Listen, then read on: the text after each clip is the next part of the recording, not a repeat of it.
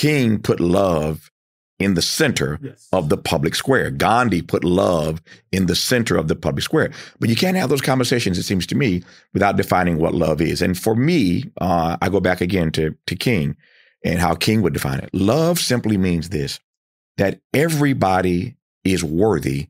Imagine how different then our public debates in the public square would be if everybody were operating off of that fundamental definition of what it, what love is that everybody is worthy just because, then it fundamentally changes how we see education, which means then that everybody in America ought to have access to an equal, high quality education.